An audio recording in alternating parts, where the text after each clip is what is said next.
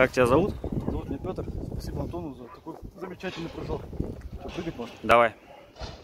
Немножко левее. Немножко левее. Вон туда, ага. Блядь!